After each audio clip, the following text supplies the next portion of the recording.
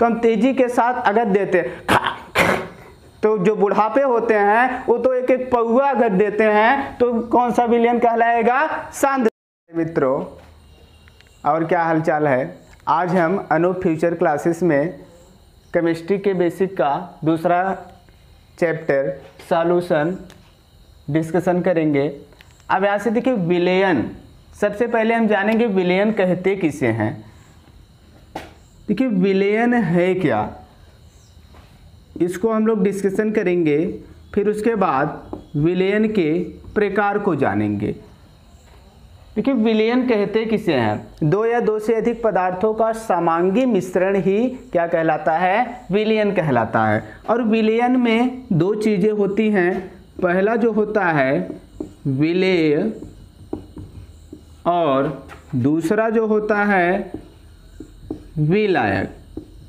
अब यहाँ से हम इस कॉन्सेप्ट को जानेंगे, विलय किसे कहते हैं और विलय किसे कहते हैं। किसी भी विलयन में जो कम मात्रा में उपस्थित होता है, उसे हम विलय कहते हैं और जो अधिक मात्रा में उपस्थित होता है, उसे हम विलय कहते हैं।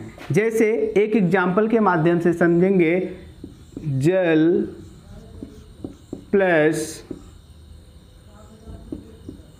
चीनी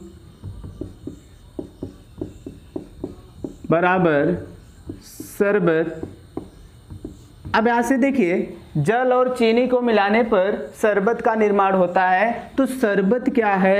एक प्रकार का विलयन है। हम इसमें विलय और विलायक को जानेंगे। अब यहाँ से देखिए, शरबत में जल की मात्रा अधिक होती है तो यहाँ से जल जो है, वो विलायक कहलाएगा और चीनी की मात्रा कम होती है तो चीनी विलय कहलाएगा। तो यहाँ से हम विलय और विलायक के कॉन्सेप्ट को जान चुके हैं, फिर उसके आगे हम अध्ययन करेंगे विलयन के प्रकार। अब हम जानेंगे विलयन कितने प्रकार के होते हैं। यहाँ से आपको बताया जाएगा कि विलयन दो प्रकार के होते हैं एक अवयव की मात्रा के आधार पर और दूसरा भौतिक प्रवस्था के आधार पर। अवयव की मात्रा के आधार पर विलयन पाँच प्रकार के होते हैं। पहला आपको बताया जाएगा तनु, दूसरा सांद्र, तीसरा संतृप्त और असंतृप्त और लास्ट आपको बताया जाएगा अति संतृप्त। देखिए, तनु किसे कहते हैं? तनु का मतलब होता है कि ऐसा विलयन जिसमें विलायक की मात्रा अधिक होती है। उसे हम क्या कहते हैं? तनु कहते हैं। और सांद्र का मतलब होता है कि ऐसा विलयन जिसमें विलय की मात्रा अधिक होती है, उसे सांद्र विलयन कहा जाता है। चलिए इसको हम लोग जानते हैं। तनु विलयन में जैसे चीनी और पानी का जो विलयन होता है, ठीक उसमें पानी की मात्रा अधिक होती है तो क्या होता है? तनु विलयन होता है। पतला, अगर कोई भी विलयन पतला हो तो उसे हम तनु कहते हैं।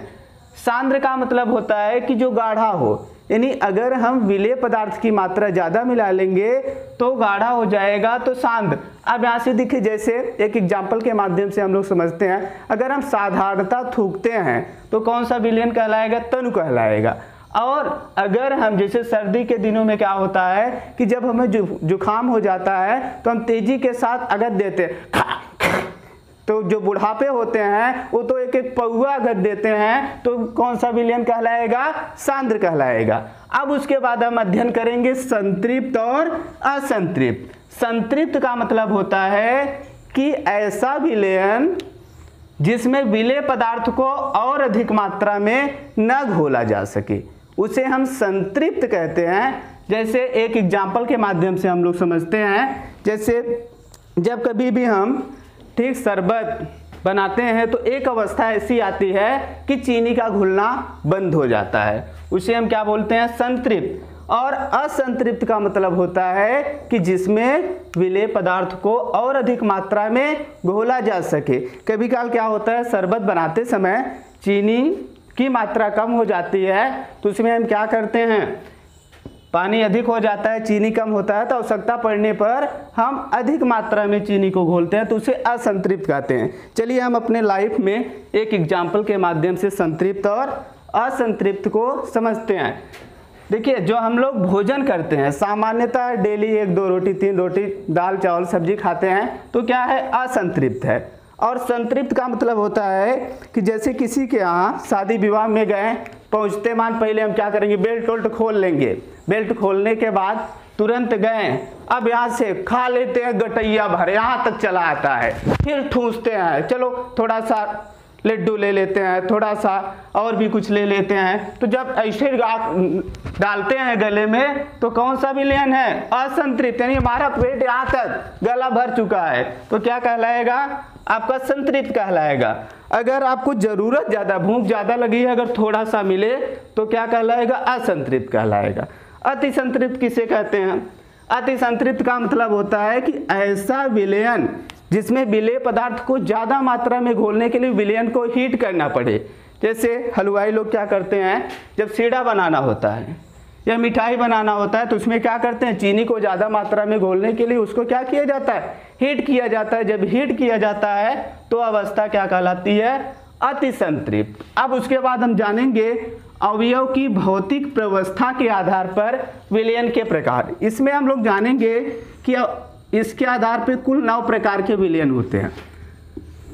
पदार्थ की तीन अवस्थाएँ होती हैं, ठोस द्रव और गैस। अब यहाँ से ठोस के तीन होते हैं। तीन द्रव के होते हैं और तीन गैस के होते हैं।